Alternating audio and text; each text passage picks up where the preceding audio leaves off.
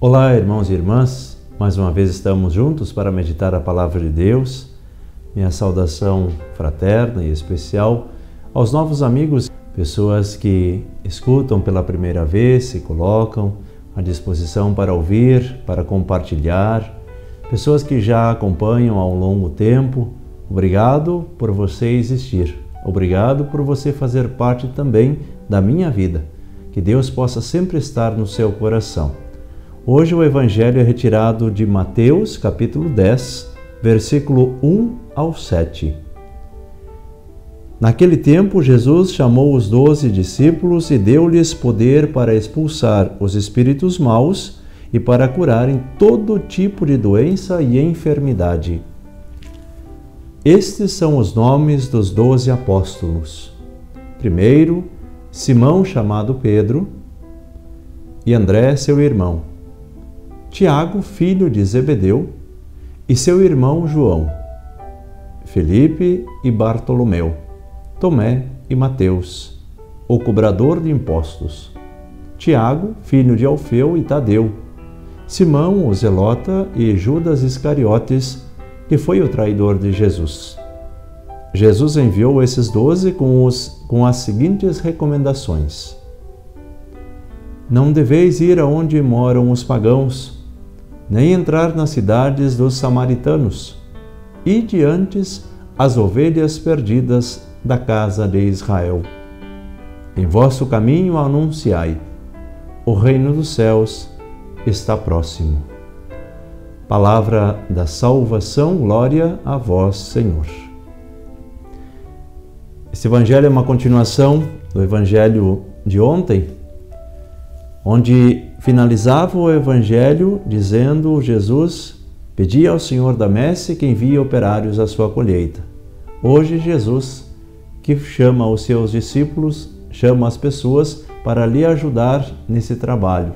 Porque assim como nós vimos o evangelho de ontem, Jesus percebeu que aquelas pessoas estavam como ovelhas que não têm pastor e precisa sempre contar com a ajuda de pessoas que auxiliam nesse trabalho. Hoje Jesus nos ensina o que nós devemos dizer.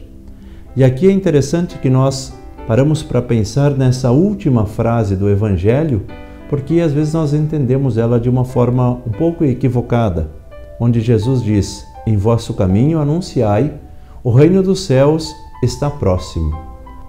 O reino dos céus está próximo, não como um, um evento, um acontecimento, algo como uma celebração festiva, mas Jesus quer dizer que o reino de Deus, o reino dos céus, está próximo, nessa proximidade, perto de nós.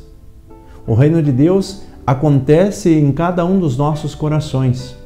E é isso que nós devemos anunciar: que o reino de Deus está próximo. Ele pode estar do seu lado, no coração daquela pessoa que mora contigo, também no seu coração.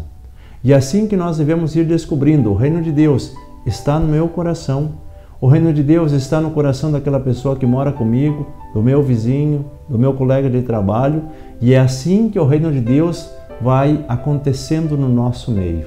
Nós vamos vivendo já, fazendo uma experiência do reino de Deus já aqui na terra, se nós conseguirmos conviver bem com as pessoas, descobrindo que em cada coração ali também está o reino de Deus, porque Jesus habita em cada coração. Que nós possamos descobrir isso em cada pessoa que nós encontrarmos ao longo desse dia. E assim também nós queremos hoje fazer o segundo dia da nossa novena, a segunda oração em preparação à festa do Carmo. E eu gostaria de apresentar, assim como ontem eu convidei a cada um para colocar a sua intenção, hoje eu quero colocar todas as intenções que foram colocadas, foram pedidas através das visualizações desse vídeo. Está aqui todas as intenções, muitas intenções, diferentes intenções. E aí eu gostaria de colocar tudo isso também hoje no colo de Nossa Senhora. Pedir por todas as pessoas que pediram orações pelos seus familiares, aquelas pessoas que estão passando por um, uma dificuldade financeira, aquelas pessoas que estão com dificuldade para encontrar um trabalho, no relacionamento familiar, pessoas que perderam seus entes queridos, todas aquelas pessoas que enviaram a sua oração, as orações estão aqui.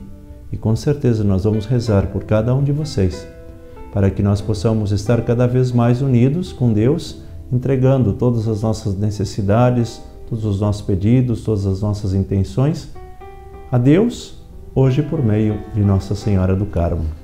A oração do segundo dia diz assim: Rainha excelsa e Mãe terna do Carmelo. Os sucessores do profeta Elias, moradores perpétuos do Monte Carmelo, conservaram ao longo da história o amor à vossa maternidade divina, tomando como exemplo as virtudes que brilharam em vossa vida. Fazei, Mãe amável e querida, que reine também em nossas famílias uma arraigada devoção para convosco. Seja esta devoção fonte perene de amor e união, de felicidade, alegria e paz. Amém. Ave Maria, cheia de graça, o Senhor é convosco. Bendita sois vós entre as mulheres, e bendito é o fruto do vosso ventre, Jesus. Santa Maria, Mãe de Deus, rogai por nós, pecadores, agora e na hora de nossa morte. Amém. Que Nossa Senhora do Carmo possa visitar cada um dos seus corações, cada uma de vossas famílias, e assim possa atender às nossas necessidades. O Senhor esteja convosco, Ele está no meio de nós. Abençoe-vos o Deus Todo-Poderoso, o Pai, o Filho e o Espírito Santo. Amém.